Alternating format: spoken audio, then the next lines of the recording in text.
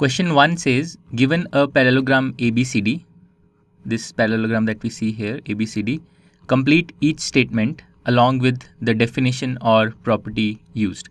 So there are four statements given to us.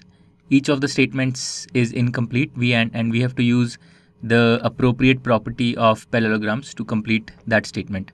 So let's start with the first statement. In the first statement, we have AD equal to what?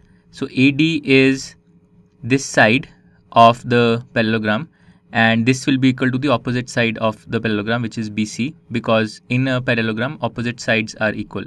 So the first statement can be completed as AD is equal to BC and the reason is that opposite sides in a parallelogram are equal.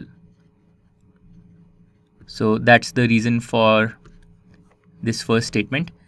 Now in the second statement we have angle DCB equal to what? So angle DCB is this angle here angle DCB and we know that in a parallelogram opposite angles are equal. So angle DCB will be equal to angle DAB this angle here because this is opposite to angle DCB.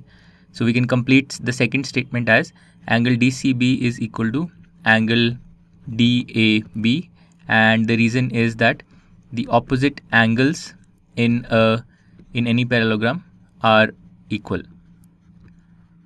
All right now statement 3 is statement 3 says OC is equal to what? So OC is this segment of the diagonal half um, of AC OC is this part of uh, the diagonal AC and we know that in a parallelogram the diagonals bisect each other. So OC will be equal to OA and OD will be equal to OB but we don't need the OD equal to OB fact. We only need to use the fact that OC is equal to OA because the diagonals in a parallelogram bisect each other.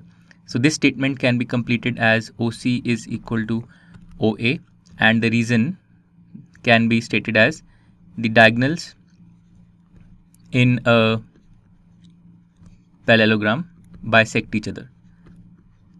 So that's the property for statement 3 and then finally for statement 4 uh, we have the measure of angle DAB plus the measure of angle CDA. So measure of angle DAB plus the measure of angle CDA. So let's analyze these two angles. What are these two angles? So angle DAB is this angle here DAB and angle CDA is this angle here. And we can see that these two angles are adjacent angles of the parallelogram so they must be supplementary because they are interior angles on the same side of this transversal AD and the parallels AB and DC so their sum must be equal to 180 degrees. So the statement can can be completed as 180 degrees and the reason can be stated as adjacent angles in a parallelogram are supplementary.